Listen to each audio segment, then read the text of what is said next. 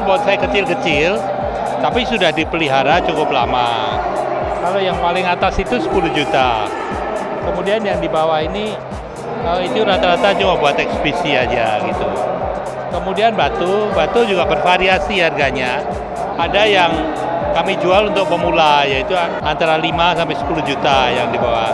Tapi ada juga batu-batu yang uh, kita jual uh, dengan harga yang tinggi.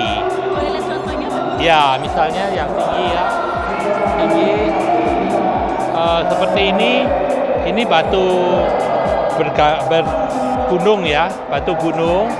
Ini harganya 125 juta, 70 juta.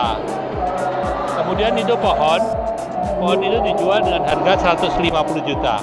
Ini sebuah batu yang menggambarkan uh, sebetulnya tiga dewa ini.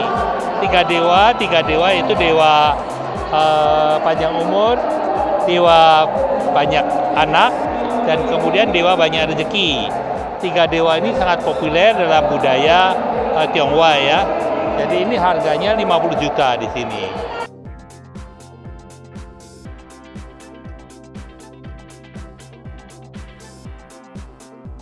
Selanjutnya ada bonsai koleksi saya yang sudah di tangan saya sekitar 30 tahun yaitu ini jenis Lohansung jenis Lohansung atau Podocarpus Podocarpus ini uh, ini tidak saya jual juga karena sudah merupakan koleksi.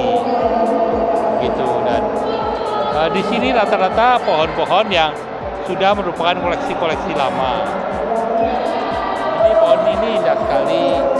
Ini uh, sudah tertata dengan rapi sekali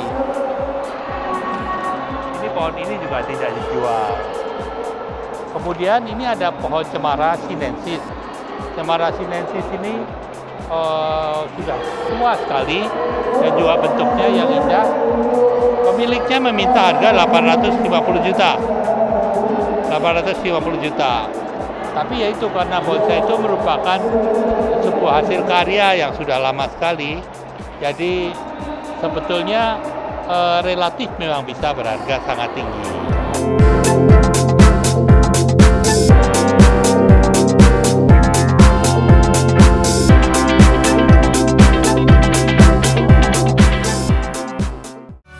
Jangan lupa subscribe. Jika Trubus Mania suka dengan video ini, share video ini ke sosial media kalian. Gaya hidup hijau dimulai dari sini.